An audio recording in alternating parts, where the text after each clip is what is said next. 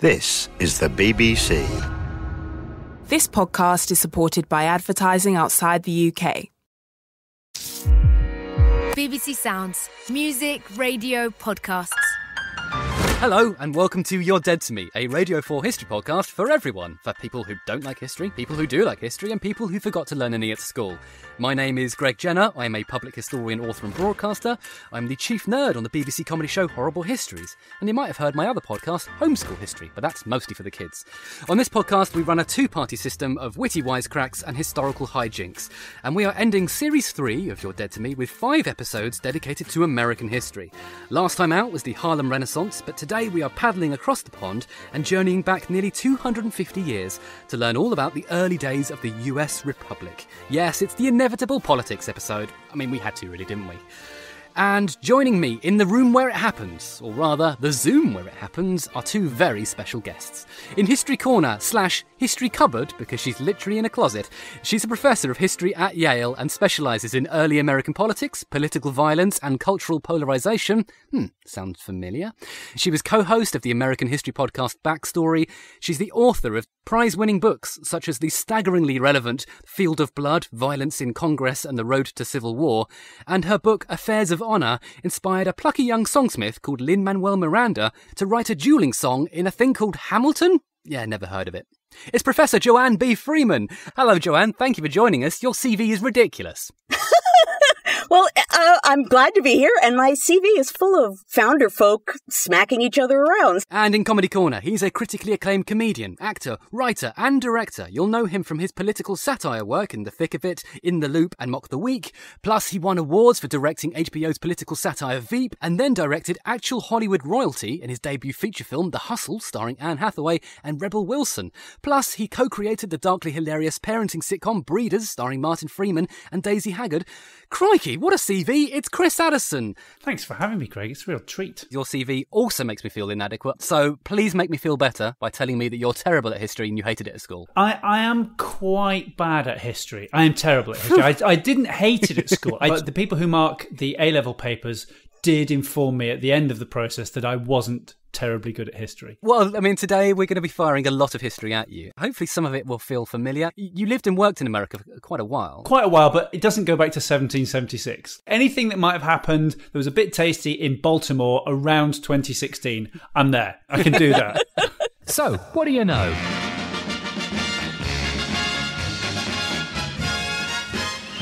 Is where I have a go at guessing what you at home might know about today's subject. You know what the USA is, don't you? He's got a president who lives in a White House, there's a Congress and a Senate and a Star Spangled Banner, and you know the Americans used to be under British rule until they broke away from colonial overlords, yada yada yada, Independence Day, 4th of July, Constitution, Eagles, etc. And then suddenly along came Lin Manuel Miranda with his amazing Uber Smash musical Hamilton. Let's now find out what that really means in terms of politics and in terms of history. What do we need to know about little baby America and its first toddler steps? Professor Joanne, can you give us the super speediest introduction to how America won independence from Britain? How do they go from being bowler hat wearing, cricket playing, tea drinking Brits to suddenly going, I'm going to get on a jet ski and wear board shorts? The American colonies were under British rule, and then in the 1760s, there were a series of acts and taxations that angered a lot of the American colonists. So they met in 1774 in the First Continental Congress to organize petitions and things like that to protest. And then in 1775, actual war broke out. 1776, you get the Second Continental Congress. They actually declare independence. And then you have a war, and then it ends with the Treaty of Paris in 1783. After having won the war, they chose then to sign the paper in Paris. Why did they? I mean, some 3,000 miles to the east. Why did they do that? Was the whole thing basically just an attempt to win a holiday? because the French were American allies, so they were sort of acting as intermediaries. Uh, but they were only prepared to do that from their own house.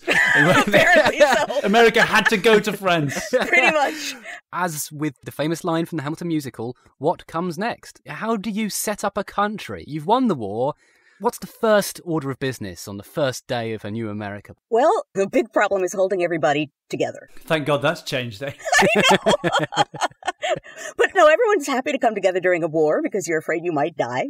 So the 1780s, after the war, are not a happy, cheery decade. And Americans, they don't like each other and they're ignoring each other and things aren't really going well. So one of the first things they have to deal with is what's the us? That requires the foundation of law, it requires the foundation of political government, it's going to require a banking system. Do we get the Constitutional Convention pretty quickly? Takes a while. In the 1780s, they have the Articles of Confederation, which are just not really strong and can't really make any state do anything. And then in 1787, they decide, yeah, that didn't quite work. So they call the Constitutional Convention, and that's when they come up with the Constitution that we have today. Yes, although there will be amendments, of course, because they don't get it right first time. that's true. Uh, Chris, do you know how many states there are in America at this time? 13? Yeah, they don't really have much in common, right? Exactly. And that's a big part of the problem. How do you pull these states together? And part of the big answer at the Constitutional Convention is federalism, which basically says, yeah, it's a national government, but you know what? State governments count too. What's the impetus behind that? Is it they don't like centralized power because they didn't like a monarchy? Or is it because they've all got their own, we do things differently in our street and we want to do it our way? I'm going to be a historian and say, a little bit of both, actually. Historians always have two or three reasons for everything. Boy, were they nervous about monarchy. But also, people were calling their state their country for a good 10 years after the government launched. So yeah, they all basically figured their state was really what mattered more than anything else. And so they didn't want to surrender their states at all. So Virginia is a commonwealth, which is a sort of oldie worldy word. And then you've got these various states, which people think are essentially their own little countries. And then someone along the line has gone, no, no, this needs to be a United States of America, which suggests it's one big country and yet at the same time suggests it's more than one thing. So you need a big, strong leader, and that brings us to the president. Chris, who was the first president? I did fall asleep halfway through Hamilton, so is it George III? Yeah, that's right. Yes. Great. is that right? Or was it George Washington? You know, I know you were joking there, but you sort of hit the nail on the head a little bit there because when they're trying to propose the idea of a president, Joanne, it's a new idea. So why Washington? He's been a great war leader, but does that make him a good political leader? Well, actually, John Adams, who was always, I think, a little jealous of everybody, once said that Washington, the reason he was so great was he was tall, he looked good on a horse. He, the, the truth is that after the war, he did a thing that Americans assumed that victorious generals don't do. And that is, he gave up power and then just went back to his farm. And so by surrendering power, he became absolutely trusted with power. He negged America. That's what he did. He on a, on a massive scale, he negged America into coming after him. It totally worked. As a political philosophy, I really like the idea of giving power to people who don't want it. It should be like jury service. So you have to do it for two weeks at a time. 12 of you. 12 of you who don't really get on in a room have to run the country for two weeks. And spend most of the time deciding what to have lunch. Yeah. Yeah, that's it. Chris, do you know what the word president means? The one who is presiding, I suppose. Yeah, and that comes from the Latin sedere, meaning to sit. So to sit in office. So we end up calling him Mr. President, of course, but different suggestions are proposed, and I'm going to ask you to guess which one of these is not true. Here we go, Chris. His Excellency, His Most Exalted Leader, His Highness, His Most Benign Highness, and the fifth one, His High Mightiness, the President of the United States and Protector of their Liberties. I don't think you made up the last one. Give me the second one again, Greg. His Most Exalted Leader. That one. I think that's the made up one. Ooh, you've got a good nose for this. That is the made up one, yeah. It just felt a little bit too brown nosy. My favourite one is His Most Benign Highness. His benignus. It's benignus. That's where it would He's benign. but it, to me, it sounds like, yes, we're going to call him His Highness, but we're going to say he's useless and he can't actually achieve anything. He's not malignant, he's benign. One of the things I love about Mr. President is the implication that by adding Mr. to it, they've given it some sort of dignity. And this is the same country that named a horse Mr. Ed. So I think, I think that, that gives you a, a level of understanding of how important Mr. is in conferring any dignity. Absolutely right. The word president, a lot of people thought, really? Actually, good old John Adams again, who always has like the, he, he punches holes in every little balloon of pump. He's the guy who says, president. They're presidents of cricket clubs. President! and he thinks like the whole world is going to be scorning this president of the United States. They're all kings and we've got this guy. So As an English person, what I take about that is a deep sense of pride that somebody so important in American history was discussing cricket. On the one hand, president doesn't sound properly distinguished enough, so it sounds a bit embarrassing that when you go to international conferences and you turn up and go, "Hello, I'm Mr. President," and like, "Mr. President," but on the flip side, you also have John Adams fearing that George Washington is a bit too much like King George III because he's got a bit of monarchical razzmatazz. There's a bit of grandeur there, isn't there? Well, that's all that Americans knew was a king.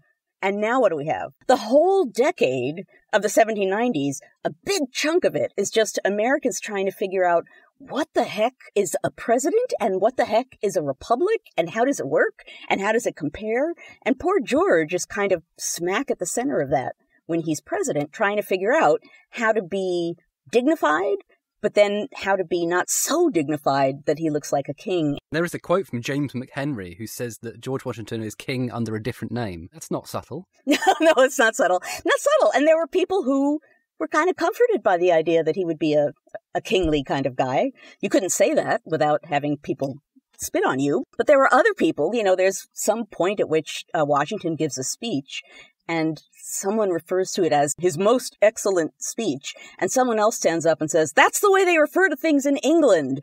And the question is, is that good or bad? Are we supposed to sound like England or are we not supposed to sound like England? So uh, the United States has a bit of an identity crisis pretty much in this, this whole time period. George Washington, you talk about him going back to his farm. He's not some country bumpkin who's like, oh, I'm just growing my turnips. He is an aristocrat, really. He's a nobleman. He wears very nice, smart suits. He carries a sword. And of course, he's a slave owner. He owns land. This is not someone who is a ordinary man of the people. How does he dress as president? Well, that's he probably thought about that a lot when he started. And apparently one of the things he did was he had a president suit which I only discovered because there's a, an anecdote, a story, which he's at a dinner party with people and someone knocks at the door to ask the president a question. And George goes upstairs, changes into his plain black president suit, comes back downstairs, answers the question, then goes back upstairs and gets out of the plain black president suit and goes back to the dinner party. So he was trying to look like whatever the heck a president was. Like a lunatic. That's what he ended up looking like. That's... It's like a superhero. he had to go downstairs to his president cave, where his butler had laid out his president suit next to the presidential carriage that's special. Took out his president orang and just threw it at the person who asked the question.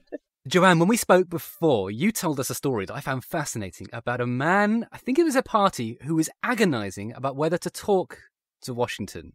Because on the one hand, he didn't want to be rude, and it's exciting to talk to the president. On the other hand, he didn't want to inflate his ego. He had this internal weird peep show monologue of like, should I talk to the president? I don't want to make him an arrogant douche. Uh, right. Well, and that's a great story. Although I can promise you, he did not write douche in his diary. I can, I can, okay, I can right. vow. This particular guy was really worried that the United States was going to slip back into a monarchy. He's a Pennsylvania senator named William Maclay, and he loves George Washington. He calls him in his diary the first man right? He doesn't even use his name. And he goes to a dinner party and there's Washington at the door. He doesn't know what to do, but he starts walking away from Washington because he makes an awkward bow and he feels stupid and he sees an empty seat and he takes a few st- couple steps away from Washington and Washington gestures, "Come sit here near me." And Maclay stops and thinks, if I turn around and go back, I'm kind of kowtowing to him. And if I'm kowtowing to him, he's going to start to think he's worthy of being kowtowed to and he might start to act monarchical, and then he might become a monarch, and then the republic will die. so he does not he, he does not take the seat. Do the rest of his diaries really reveal him to be a bit of a catastrophizer? Somebody who's absolutely paralyzed by the possibility of the worst case scenario happening, whatever they choose to do. If I have cornflakes, America will fall. Yeah, that's right. Yeah. That tells us quite a lot about Washington's the great man, and he does play up to the kingly thing a bit Joanne. He has levees. Did he drive his Chevy to the levees? he drove his Chevy to the levee. But it was dry. Yeah. yeah. I really think I remember hearing about that.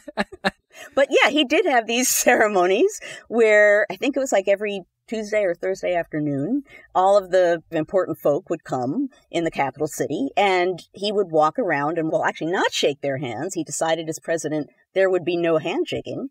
COVID safe, good. And so, yeah, that was a little monarchical. But I mean, there's also the idea, Joanne, that in order to combat that, Washington would go for a walk and just meet ordinary people on the street. Well, right. He had the levees, but then in the afternoon, supposedly, he would go for a walk around the block and he would look up at a steeple and correct his timepiece and then go back into his office.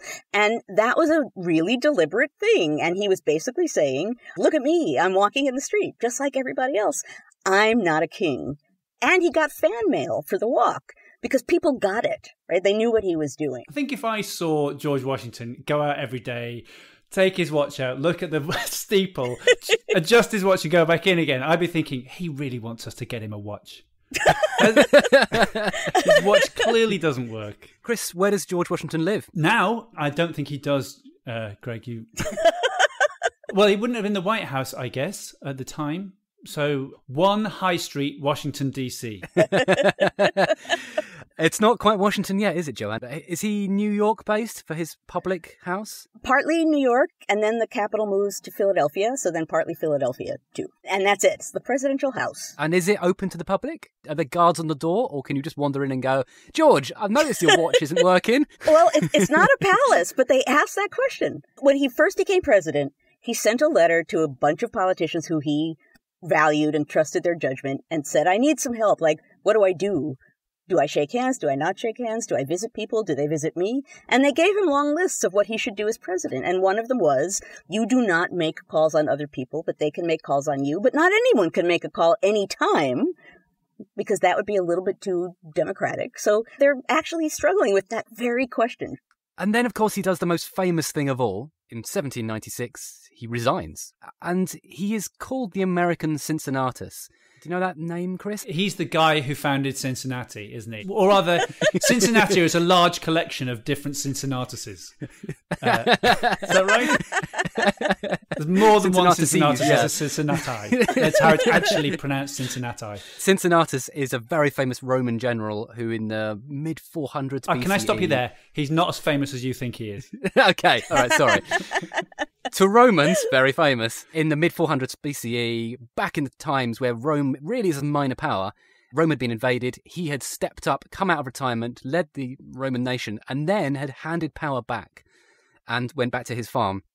And Washington does the same. So he's the American Cincinnatus, Joanne. He does it three times. He resigns from the British Army, he resigns from the colonial army, and then he resigns from the presidency. This is a radical new idea, right? Well, yeah, and it really does continually make him trusted because people don't tend to surrender power.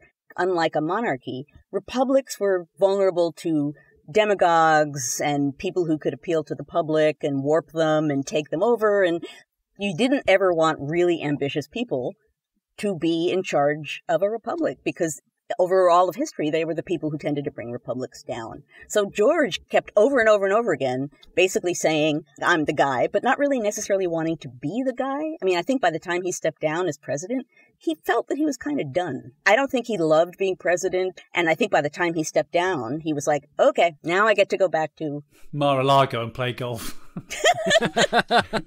oh, no.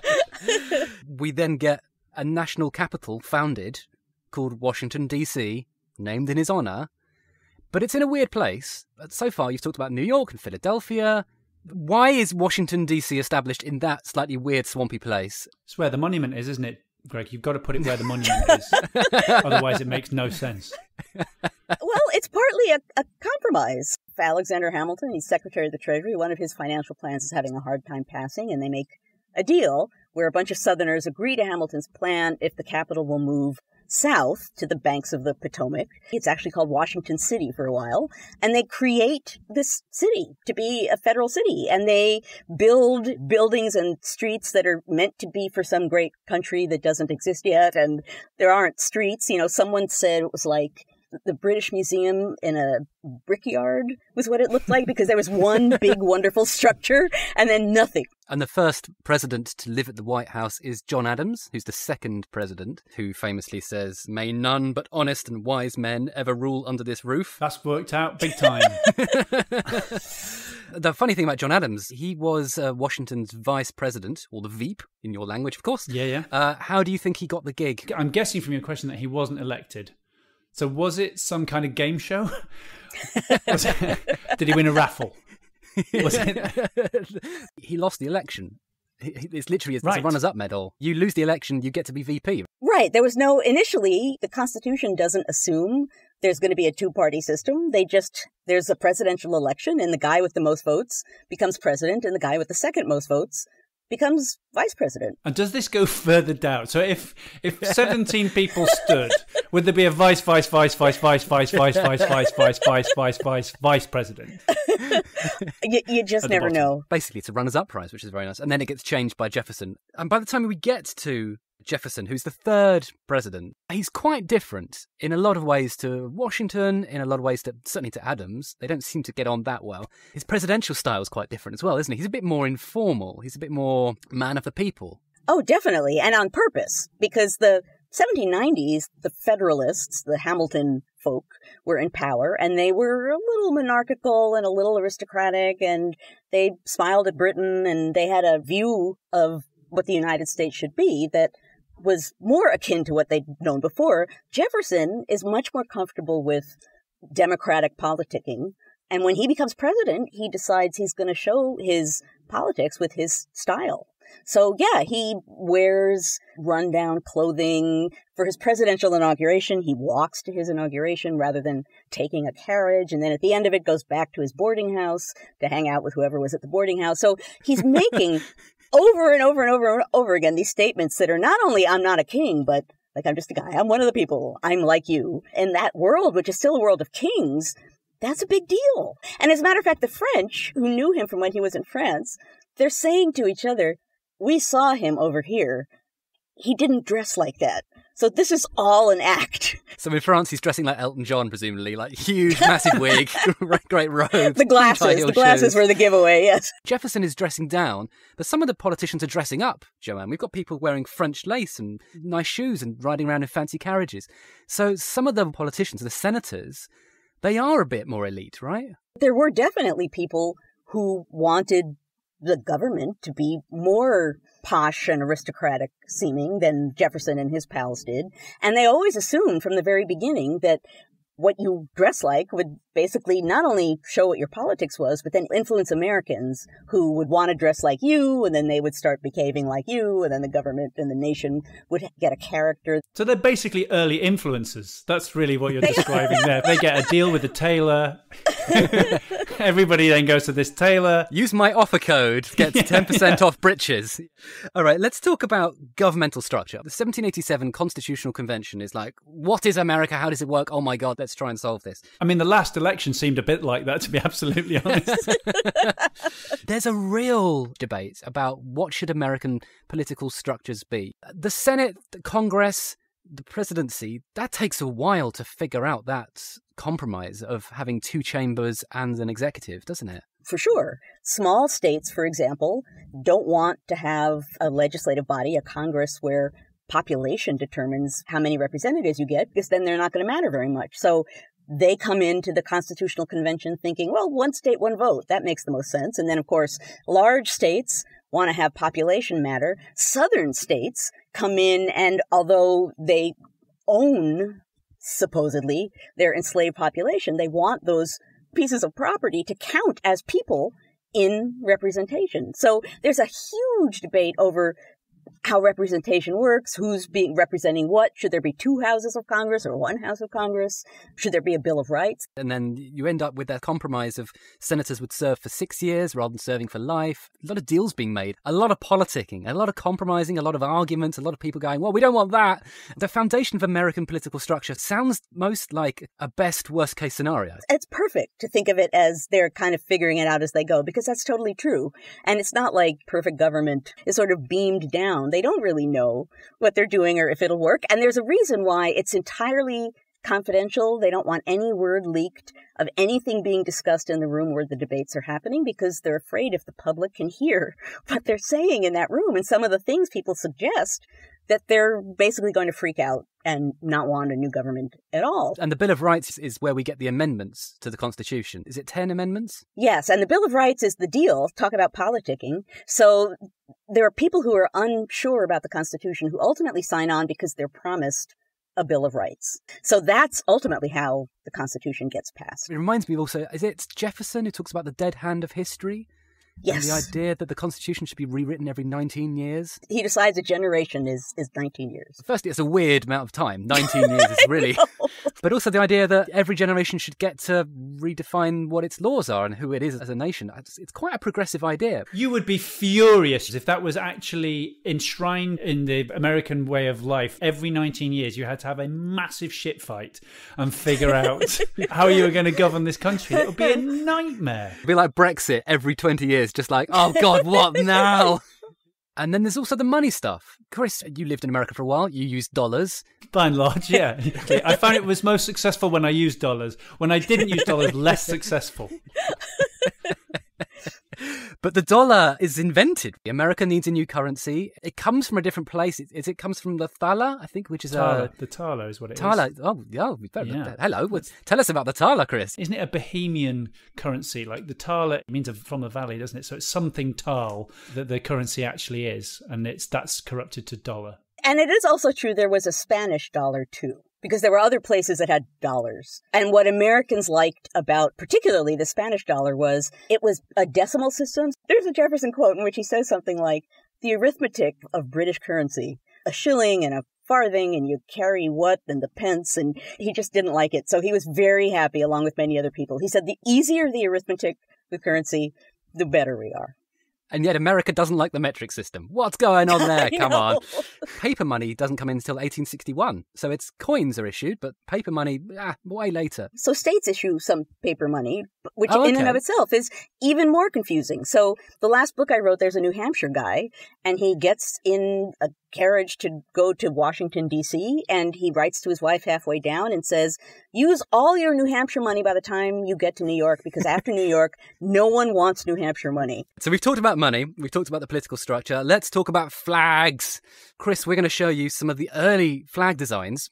There have been 27 different editions of the Stars and Stripes between 1777 and 1960. So they're constantly changing it. And the rule is every time they add a state, they add a star, but not a stripe, because otherwise it just gets very pinstriped and it looks like it's glitching on the screen, presumably. Stripes are the 13 original states, aren't they? But for a while there were 15. They added extra states and then they went, add too many stripes. Too many stripes. It's ruining the look. So then they went back to 13 stripes. So here, Chris, we are showing you early American flags. I'd like you just to talk us through them. Okay, well, the first one, this is labeled as the Continental flag. The Americans fought under this at Bunker Hill in 1775. It is a red flag. In the top left corner, there is a white square which has the silhouette of a tree in it. And it was a problem for the Americans because, of course, the British thought that they were fighting the Lebanese. Uh, at this point, because it looks almost exactly like the Cedar of Lebanon flag. It's a Christmas tree to me. The Gadsden flag, devised in 1775 by a South Carolina patriot, is a coiled snake on a yellow background with its mouth open, its tongue out, saying, Don't tread on me. Incorrectly punctuated, unfortunately, uh, which is why it never got taken on. It was the, the large apostrophe lobby uh, objected to the fact there was no apostrophe between the N and the T of don't. Don't tread on me. Yeah. Don't tread on me. That's maybe that's just how he talks. You don't tread on me. Strange accent. Where are you from? so flag number three is the thirteen stripes. That's the that we're used to. And then weirdly, where you'd expect the stars to be, normally there is a Union Jack. That's an interesting one, isn't it? Because that's being raised in 1776 to celebrate the newly formed Continental Army, and yet it contains within it the flag of the oppressor and the enemy. That's a strange thing to do.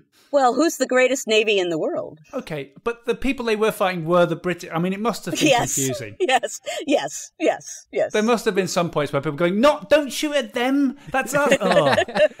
That's the famous one. It's the Betsy Ross. Which is the stripes and then the sort of EU style circle of stars in the corner. You'll note, by the way, that the EU, when they lose or gain a member, don't end up adding or taking away stars because it costs a lot of money. You can't go changing your flag 27 times. There's a lot of money in that. So that's the American flag. And now we're going to talk a little bit about the seal. The American seal, obviously, is an eagle. It's a fantastic emblem. But it was slightly controversial. There was a big old committee put in place to try and choose what the seal would be. And Franklin thought the eagle was an immoral lazy bird, and he preferred turkeys. Weirdly, John Adams wanted the American seal to be Hercules. The Disney character. Yes, that's right. They were all ahead of their time. Weirdly, Jefferson wanted the US seal to feature Hengist and Horsa. That's an Anglo Saxon thing, isn't it? Yeah, these are the Germanic Jutes who invaded England in the 5th century and helped found like Kent. So weirdly, Jefferson was like, "There are guys. That's what we're all about."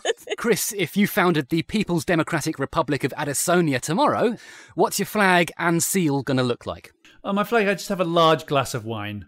I think just, just because if you're going to be in your office staring at your flag all day, there's you know something that gives you hope about the end of the working day. On my seal, so I think it would be an actual seal. I would put live seals on all documents because they're adorable. They're hard to fake. Well, I'm going to give you the seal of approval for that joke. Joanne, the founding fathers squabbled over the small stuff, and then they also fall out over the big stuff. This is where we get the arrival of the two party system, which is not in the Constitution. No one has seen this coming. No one wants this, really. And yet, the political powers that be split down the middle. We have the Federalists, hoity toity elite types who like Britain and want central power. And then we have the Democratic Republicans, which is Jefferson's lot. They are want an agrarian country. They're not very excited by industry. They are looking towards France instead of England. So it's not so much that you decide one day. I always say this to my students. They don't wake up one day and say, you know what? Parties. That would be really good. But they divide over their major vision for what the nation should be. And the Federalists are less democratic and the Republicans are more democratic. And that ends up being a really big dividing point. I suppose the other thing we need to talk about, Joanne, the Constitution starts with the preamble, We the People, which is a fantastic opening line. But then you look at the small print, and Chris, who are the people that get counted, do you think? I'm going to assume it's men who own property, and that's it. It's it's sort of it's a little bit more open than that. Okay, men who own really nice property. Can we say that this We the People really excludes women, black people, Native Americans, and the poor, or is it a little bit more capacious? It depends on what the we is doing at any given moment. If you're talking about people with like real power who can vote and actually do things, then it's pretty much white men with a certain amount of money. If if you're talking about people who are kind of embraced in the big American we, yeah, it could be a little bigger than that, and I suppose women are there. Native Americans, Indians are mm, not entirely accepted, but more accepted than African Americans. It's a pretty amorphous we. We've already mentioned, Joanne, that the three fifths clause. This is the gimmick of the cheat, right, Joanne? That means that on the one hand, enslaved people count for the weighting of political power, but they also don't count as human beings. So it's three fifths of the amount of slaves in an area count as population. Right. They count three fifths of the enslaved population, and they do that because the Southerners want that extra power, and so they're not allowed to count their entire enslaved population, but they're allowed to count three fifths of it, which means that they dominate the national government for a really long time. And so this is why slavery is not abolished until well into the 1860s, because the, the people literally with the whip hand are the people in power, the slaveholders. It's important to note here, Joanne, that there are free African Americans in the northern states who can't vote, but they get to represent themselves, don't they? They can protest, they can write newspapers, they can speak up. Yeah, the 1790s, the first decade, there's a lot of argument and a lot of people trying to decide how much you're allowed to protest and be in the streets. And it's not just white men in the streets trying to figure out how to express their wants and their, their political views. So yeah, th- in that case, it definitely goes beyond white men. But the bigger problem, of course, is that the first president is a slave owner, Jefferson is a slave owner. There are many very powerful men in this government who own human beings and they're not going to free them. And then on the other hand, there are people like Ben Franklin, he's an abolitionist. I think Hamilton, we're not quite sure where he stands. he was not an abolitionist. Hamilton would say he's against slavery, and he belonged to the New York Manumission Society. And there were slaves still in his family. There's debate now about whether he, his own family, had enslaved people, but his father-in-law's family did. During the Revolution, something that people point out all the time is that Americans are constantly saying we're enslaved to the British, and they're a population of people that are enslaving other people. And then there are people like John Laurens, who uh, is famously in the Hamilton musical, who's trying to say, well, look, let me raise a regiment of black troops, we'll liberate them, and they can fight for a new America, and it'll be great. And that gets stopped by the southern states. They're like, no, we don't want any of that. And he dies in battle. So there are people trying to win that argument, but they don't have the numbers. And then let's talk about women as well. Chris, what sort of rights do you think women had in early America? Well, if it's like the rest of the world, I wouldn't imagine very much right? Unless there's something genuinely revolutionary going on. I mean, there is one state, Joanne. Yeah, it's a moment of glory for this one state. It's a state that some Americans tend to poke fun at. There's a brief period when women have the vote in New Jersey. The assumption was that these would be wealthy women, probably widows. They would have a certain amount of property. And it was allowed because the people in power thought it would help them. And eventually, when it was not seen that it would help the people in power, that right was taken away. But there was a little window in there when women in New Jersey could vote. Everything's legal in New Jersey. but there is a lovely quote. One woman author asserted that a hundred thousand spinning wheels put in motion by female hands will do as much towards establishing independence as a hundred thousand of the best militia men in America. So women felt part of the revolutionary movement, the war against Britain, and then presumably felt part of this new America as well. And that brings us on to a slightly weird contribution. Chris, I'm assuming you're a fan of The West Wing. Oh God, yes. You will know about Big Block of Cheese Day. I certainly do. I've just I've resisted asking about it up to this point. Go on then, tell us about Big Block of Cheese Day. Leo, who is the chief of staff to the president, Jed Bartlet, explains to his appalled staff that they have to spend one day every year listening to whomever might want to come in and pitch their crazy fringe ideas to the president's closest team. And this is based on the fact that whichever president it was had installed in the White House a big block of cheese for the people to come in and take from because he believed that the place of government should be open to all and beneficial to all. On that basis, they have to sit there and listen to crackpots all day. The big block of cheese, or rather, the mammoth cheese, as it was known. Joanne, this is 1802. This is President Jefferson. And this cheese is pretty big. It's 18 inches tall and it weighs 1,200 pounds. Wait, 18 inches tall? It's not that tall, is it? So it's very wide. It's a very wide block of cheese. this very... is disappointing. I had in my head, I always had like a, a sort of cube of cheddar that was roughly the size of the hallway. They had to deliver it on a cart, Chris, so you, you can't have anything too towering. It won't get under the bridges. There's absolutely no reason that you couldn't deliver several blocks like that and then sort of use Philadelphia as a mortar to stack to stack them all together. Philadelphia is literally just down the road. I mean, there's loads of that cheese. But this mammoth cheese is a gift to Jefferson from the ladies of Cheshire. It's a weird gift, but why are they sending him cheese? People were giving Jefferson mammoth everythings, right? He got a mammoth bread and a mammoth pipe and a lot of mammoth things because he thought there were woolly mammoths wandering out in the West, and he became known for that. I think Joanne might be having a stroke. Could we send someone to her apartment? It's genuinely true. He believed that woolly mammoths still existed, and they they right. wandered the wilds of the West. But the cheese was a people's cheese. It was a, a democratic cheese. cheese yes, it wow. was. It was a gift to the man of the people, Thomas Jefferson, a massive block of cheese. And as you say, Chris, it was available for people to nibble on, and it was there for two years. By the end, it was Stilton. There's a congressman who eats it. Jefferson would put pieces of it on the dinner table to sh- sort of show off, like, there's my to cheese. get rid of guests at the end of an evening. Have some three-year-old cheese. You know, we we do have to go, Thomas. It's been a lovely evening. well, this one guy from New Hampshire eats a piece, and then he writes in his diary, it was far from being very good. oh, this is a reminder, actually, Joanne, of, of the women of America participating in politics, but it's also a reminder of the people of America. And this is something we need to focus on. There's a really famous story of Hamilton being booed by a crowd and basically saying, uh, Shut up. I'm Alexander Hamilton. I'm more important than you are. You should listen to me. And they chuck a rock at his head. He pretty much thought that voting is good, people can vote and put people in office, and that's under their control, and then they should basically shut up and get out of the way until the next election. And one of the things happening in the 1790s is Americans figuring out how to voice what they want and voice what they think and protest in the streets. And Hamilton and friends are not super excited by that. And indeed, on this occasion that you mentioned, there were people protesting a treaty in the street. And Hamilton gets up in front of them and tries to explain the treaty to them. And they don't really want that to happen. And a newspaper describes him as being met with hissings, coughings, and hootings. And when he tells the crowd that they don't have a right to have an opinion on the treaty, then they, yes, indeed, throw a rock at his head. Is this a democracy? It's a democratic republic. So if you'd asked these guys what a democracy was, they would have looked back to the ancient world. They would have thought of Greece and they would have said, oh, it's a government where every single person takes part.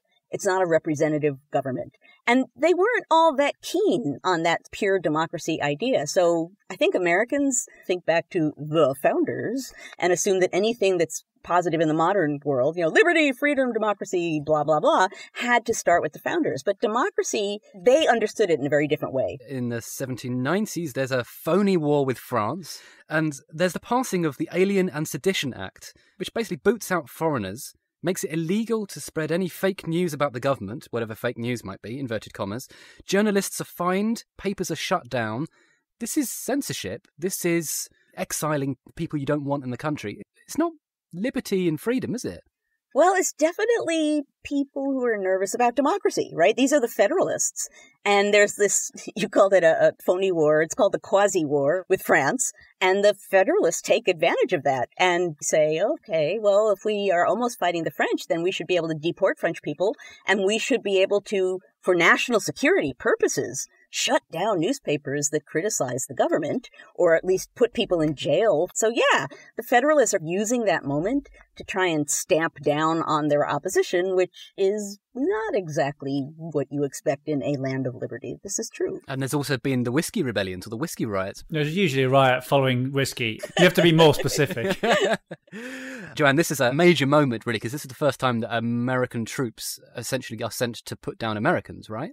Well, the Whiskey Rebellion is is true. It's earlier. It's a couple of years before what we're talking about here with the Alien and Sedition Acts. But yeah, it's a big deal because actually Hamilton sees people in Western Pennsylvania who are not excited about paying a tax on whiskey and they're protesting.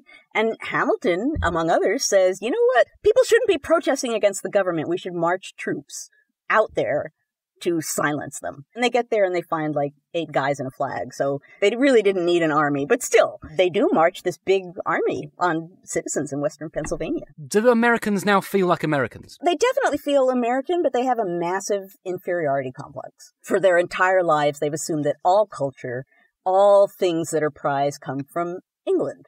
But they're very proud. They think that, you know, being American means no old world corruption. It's new world purity and a new way of seeing things. So they definitely feel that they've started a new kind of trend in, in government. Yeah, so we get early American novels, we get the foundation of American art academies and institutions trying to sort of get culture to flourish, aren't they? Right. Early on, there's a museum, which appropriately enough is called the American Museum, and there's a wall with portraits of significant Americans. And there's an account of a Massachusetts congressman who goes strolling through there, and he's really stunned that enough Americans at this point have done significant things that they can cover a wall.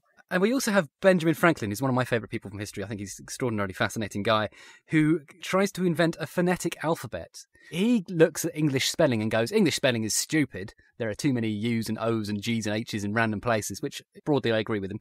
And he's like, we need to have our own language, our own dictionary, our own spellings, so that we can be Americans and we don't have to be British anymore. That just sounds like a man with far too much time on his hands. Don't you think? I mean, to be absolutely honest, there are so many more important things to be dealing. Even the cheese, getting rid of the cheese is more important than the alphabet. This seems like an extraordinary waste of time and effort. One of the things I do like about this actually is that uh, because it's a phonetic dictionary, it tells us how things are pronounced. It actually tells us how the founding fathers sounded. We know that Benjamin Franklin would have pronounced founding fathers as founding fathers, which is quite charming. I quite like the idea of fathers. oh, I want to see a movie now of the American Revolution entirely in those accents. In fact, somebody we should tell Mel Gibson about this. He will absolutely do that. Should have been Jefferson or Hamilton and all these sort of fancy people going like, "We're the people." we believe, right, in like in. We don't want any of that. This is fantastic. So essentially, what we've got is it just basically sounds like pirates. It's an entire country filled with pirates. Arr. That's Yeah, what we've exactly. got. We hold these truths to be self-evident. that man is born. There got a point, uh, Joanne, in the early 1800s where America was trying to celebrate Independence Day. The July 4th thing had been brought in, but Federalists and Democratic Republicans refused to celebrate together. They had their own different, unique parades and festivities. It's true. I mean, and- the Federalists like to celebrate George Washington even more than the Declaration of Independence. Like George was theirs, so they would all over the place celebrate George, and and they wanted him to get full credit for the farewell address. And Hamilton helped Washington write it, and their big quest was to keep people from knowing that Hamilton helped Washington write the address because it made him seem less glorious. But everybody could tell because it was all in rap. Exactly. And also, people by this point, Joanna, wearing their political badges, literally. Yeah, in the late 1790s when the French Revolution's going and Americans are picking sides. Yeah, they're wearing little cockades on their hats and the Federalists have one color and the Republicans have another color. So, yeah, pretty much there's not really a moment when there isn't severe partisanship. That's the story of American politics. This is a nation that's been created from scratch, but eh, no one knows quite what that should be. The nuance window!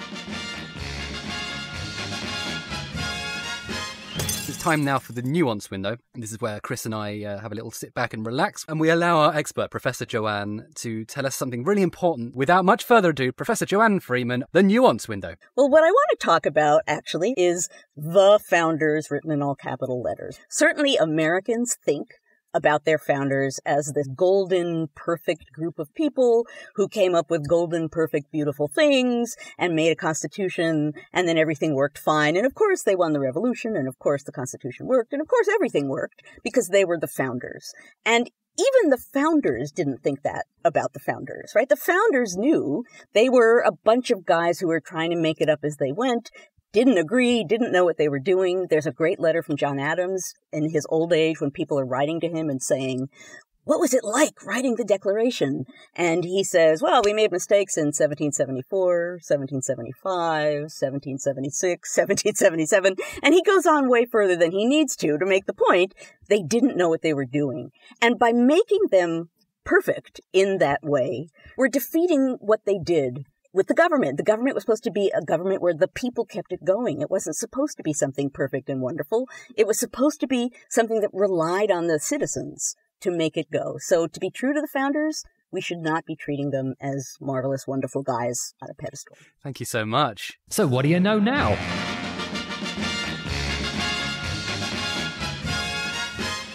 It is time for the So What Do You Know Now? This is a 60 second quickfire quiz for Chris to see how much he has learned. Here we go. Three, two, one. Question one. Why was George Washington nicknamed the American Cincinnatus? Because, like the very famous Roman general Cincinnatus, he retired. Correct.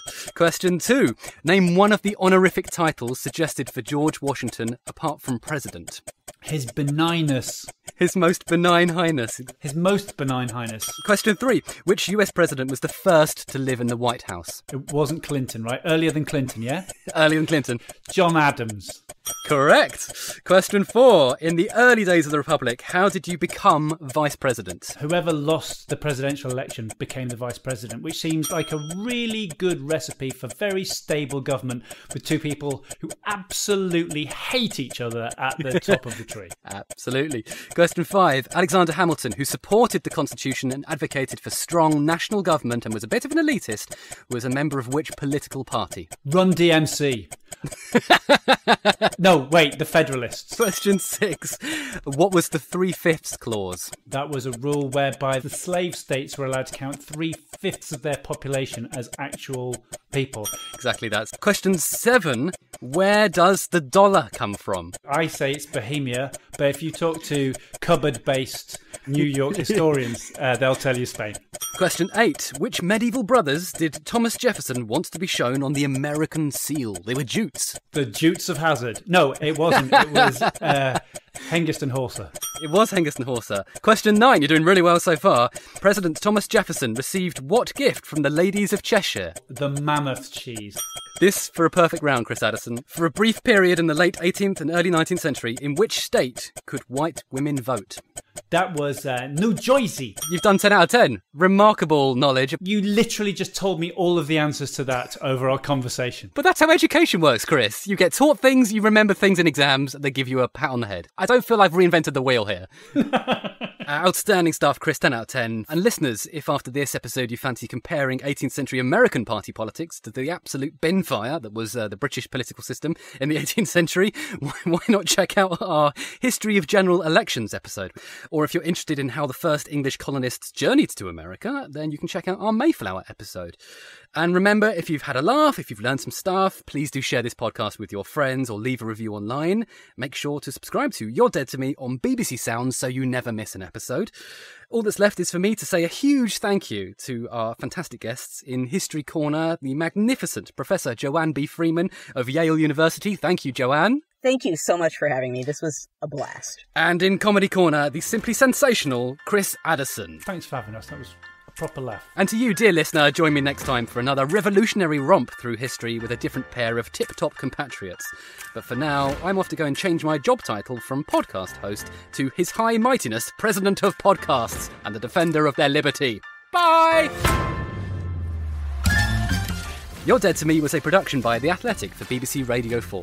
The research was by Tim Galsworthy, the script was by Emma Nagouse and me, the project manager was Isla Matthews, and the edit producer was Cornelius Mendez. Hello, I'm Vanessa Casile, and there is nothing I love more than a great documentary. I'm woken by the sound of gunfire.